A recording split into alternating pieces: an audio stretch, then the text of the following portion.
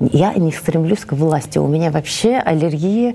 Я себя даже никаким чиновником не представляете. Меня удивила реакция и Сыртлановой, и Министерства здравоохранения, и наших властей башкирских. Они начали клеймить Камалова вместо того, чтобы принять оперативное решение по ликвидации, по нейтрализации этой ситуации. Почему они вдруг э, очевидный бытовой конфликт хотели перевести на другой уровень? Вот я тоже националист своего народа в хорошем смысле этого слова. Хабиров с Назаром выезжают как люди ответственные на место пожара. Иванова на двух концертах, я так понимаю, присутствует, без маски, с улыбкой, со своим давним другом Ахмадинуровым, фотографируется, да.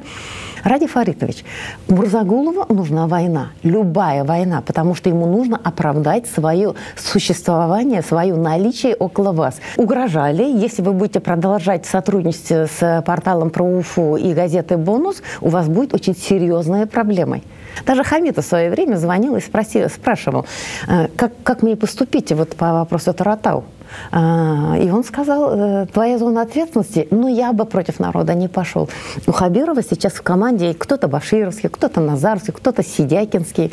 Да, Хабировский, кстати, маловато. Там, я так понимаю, Хабировские те, которых привезли из других регионов.